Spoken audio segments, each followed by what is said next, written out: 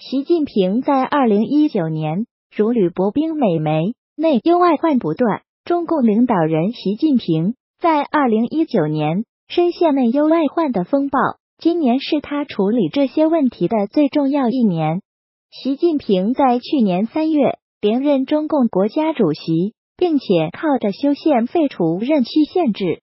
让他成为自毛泽东以来最强大的中共领导人。然而，习近平在二零一九年深陷内忧外患的风暴，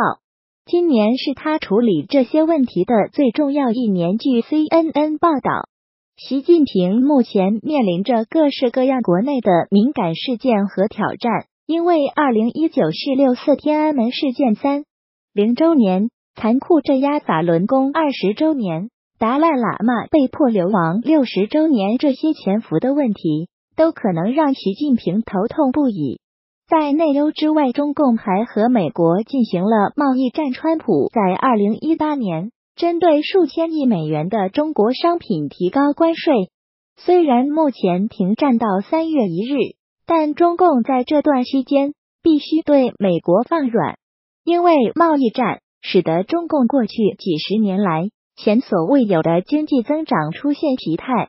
各地的基础建设和投资都放慢了脚步，中国经济已经步履蹒跚了。就算习近平能够处理贸易危机，川普政府和北京政府又开辟了新的战线，包括南海争夺和中共商业间谍等等，使得经济问题延伸到了政治和军事问题。习近平在二零一九年对这些事件的处理。将决定他在历任中国共产党领导人中的位置。